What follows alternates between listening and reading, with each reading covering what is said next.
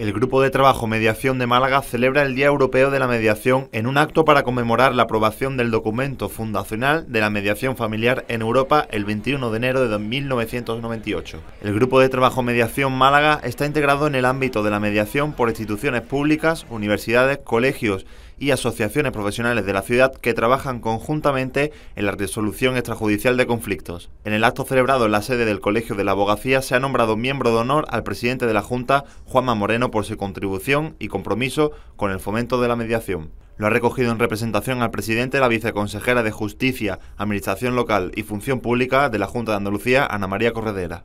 Yo creo que si queremos una justicia más ágil, una justicia que dé respuesta más inmediata, una justicia que dé más satisfacción a las partes implicadas, la mediación es una pieza clave.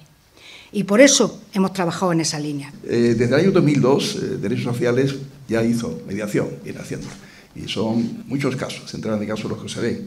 Hay mediación familiar, mediación intergeneracional, es un tema importante. Mediación policial desde el año 2012, lo recordaban ellos, ¿no? 90% de éxito en ¿eh? los casos. Moreno envió un vídeo para agradecerlo y puso en valor las diferentes medidas de la Consejería de Justicia, Administración Local y Función Pública que están poniendo en marcha para impulsar la mediación.